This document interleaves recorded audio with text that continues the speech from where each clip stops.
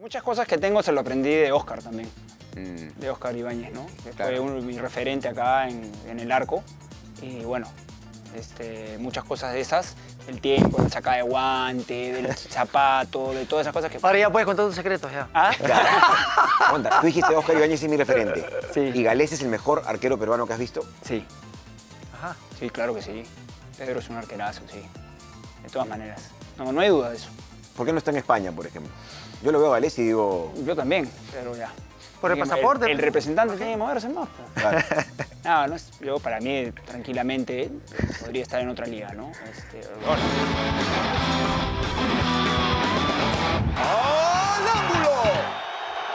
unas cosas.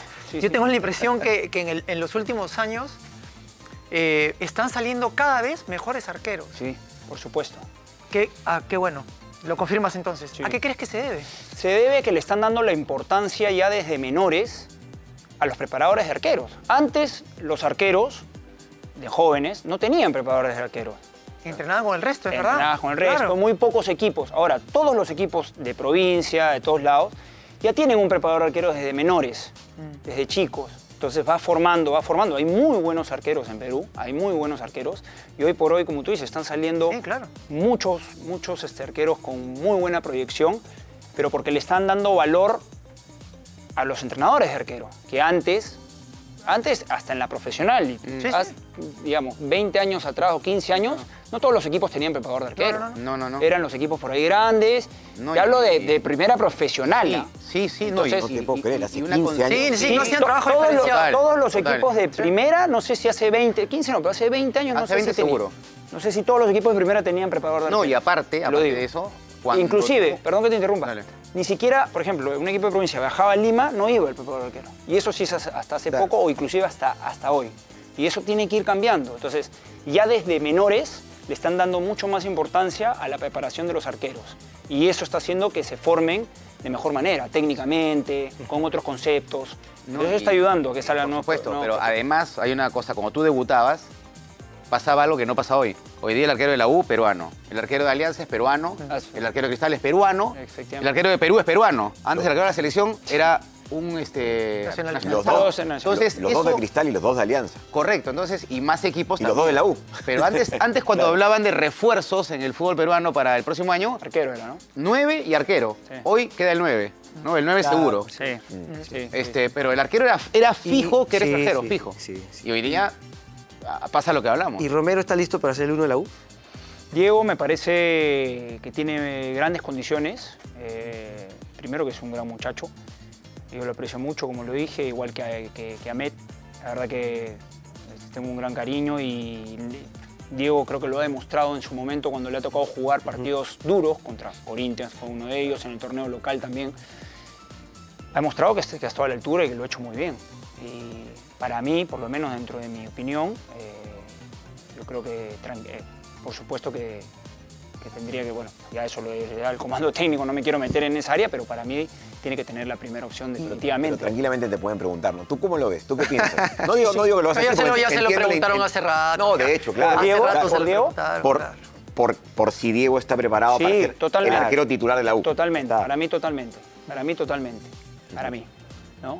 Ahora ya es cuestión de que, Claro. digamos, ya cada uno se tiene que desarrollar, ¿no? No, y además necesita una buena competencia, ¿no? Sí, Claro. sí, sí. Y, y como te digo, los partidos que, lo ha, que, lo- que ha jugado, que, que no han sido cualquiera, no han sido cualquier Ha partido, respondido. ha respondido, ha estado a la altura. ¿Cuál es su cualidad principal?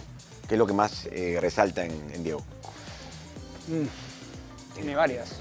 Eh, un- bueno, primero un buen biotipo es, eh, es importante. Eh, es, es rápido, bueno, todo lo que tiene. Tiene buen juego con los pies. Buen juego con los pies y, también juego también lo maneja bien. Para mí ahora, ahora tapar, digamos, tapamos todos, ¿no? Digamos, todos, es- tienes para ser arquero es como que tienes que tener buenos reflejos, reacción, pero yo creo que lo que te marca mucho hoy por hoy en el arco es juego con los pies y centros, que es lo más complicado ahora en, en el fútbol y no solamente acá en el fútbol peruano, en el fútbol mundial tú ves los arqueros sufren con los centros, porque las pelotas son más rápidas cada vez. se le nota muy tranquilo a Diego. Sí, sereno, Sereno. sereno, bastante sereno, sí. Yo creo que sale, ¿no? Sí, A descolgar sí, mucho. sí, sí, sí, sí. Tiene por eso tengo el juego con, con los pies y tiene buen juego aéreo también. ¿Tú, en- cuando fuiste formado, recibiste eh, instrucciones o asesoramiento para el juego con los pies o no mucho? Normal, lo normal. Me, he ido, justo. me he ido haciendo más ya en, lo- en- en- en la profesional que, digamos, que desde- me hubiera encantado que me hubieran trabajado desde lo que hablamos, de- desde los inicios, Claro. para que no me Pero es cueste que tanto. Esos en- inicios tuyos. Claro, pues. No, en era- esos inicios, eran 20 el pelotas, fútbol lado y no lado. se jugaba con los pies. Yo sé, por O eso sea, le en pregunto. esa época los arqueros no tenían nada que hacer con los pies. Nada. Claro. Solo reventarla. Sí. Bueno, Hoy día ahora, los jugadores. ahora hay técnicos que te piden lo mismo, ¿ah? que no quieren Sí, mucho que claro. jueguen. a mí me encanta, a mí me encantan los técnicos que sacan la. Sácala de atrás, hermano. No me, Todo- no me todo- compliques. Mi querido, todo tiempo pasado fue mejor, ¿no? Sí.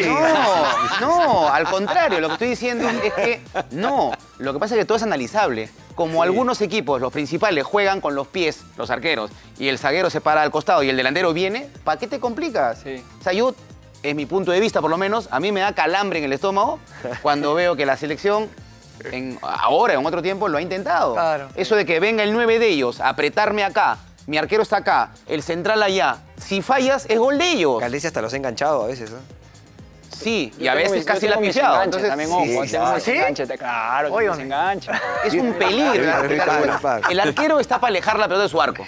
¿no? No, hermano, Por bueno, en determinados momentos yo, a ver, yo, yo no tapo nada, ¿no? Eso Si la voy a perder, la pierdo allá. Yo hablo solamente por lo que veo en la televisión, pero digamos que algo tiene que poder con los pies, ¿no? Claro. No. O sea, en situaciones puntuales yo sí Claro. estoy de acuerdo a la tribuna, Sí, todo bótala. bien. Sí. Pero si puedes salir jugando, Sí, hermano, ya ahora, ahora un arquero que no juegue bien con los pies, Para mí el arquero principalmente tiene que atajar bien. eso sí, ya Descolgar es bien y reflejo. Pero escúchame, Después, también- si tiene el plus de los pies, ya. Depende del Hay estilo otro del equipo, plus. ¿no? Eso influye Depende- mucho. Depende De- del estilo del equipo. Por eso te digo, hay entrenadores que para él es fundamental que el arquero tenga buen juego con los pies Sí. y te la ponga el 9 en el, acá- en el pecho, no en el corazón, quiero que te Claro. Claro. acá.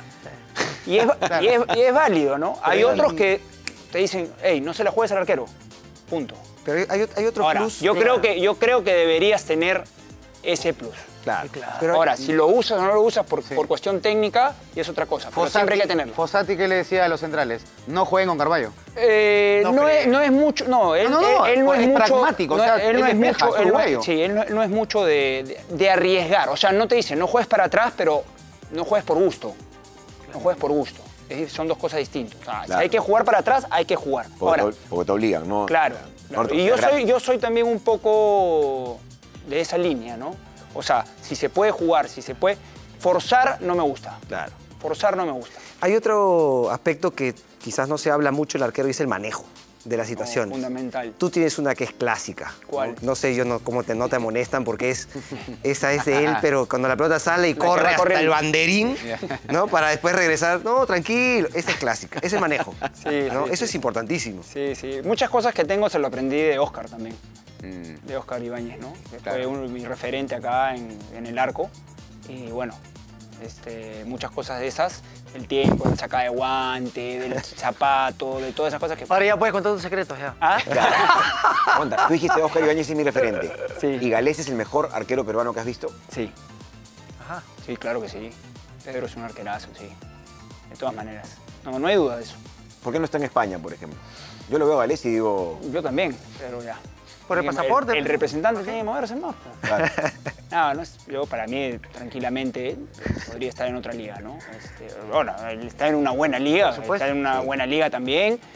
Este, y ojalá que le llegue esa oportunidad de poder emigrar quizás este, a Europa, ¿no? Que yo creo que porque sería ideal. el arquero tiene una... Digamos que el ciclo de, la, de vida del arquero es un poquito diferente, ¿no? Un poquito más largo. Sí, por- por un arquero a los supuesto. 33, 34 puede estar un- en un momento espectacular. Por supuesto. 35. Por supuesto, por supuesto. Eso, eso sí. Es más, este, los mejores eh, años de, digamos, de Oscar también fue, fueron ya 36, 37 para arriba. Claro. El tricampeonato y, y la Copa Sudamericana ya está arriba de los 40, creo.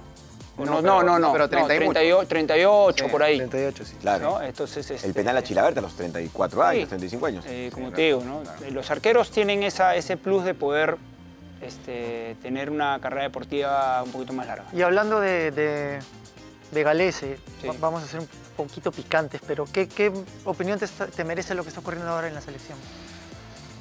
Bueno, como todos, ¿no? Siempre uno quiere que la selección le vaya bien, aparte una selección que nos ha dado muchas alegrías. Este es un momento, me imagino, difícil para, para los muchachos, para el comando técnico. Uno ahora que lo estoy desde afuera, eh, siempre lo único que les voy a decir es que yo confío, así haya 1% de posibilidades, confío en el grupo, confío en los jugadores que hay. Este, hasta que haya, no haya posibilidades, se dejará de confiar, pero hasta que haya un- una pequeña chance, yo estoy a muerte con, con ellos porque lo han demostrado.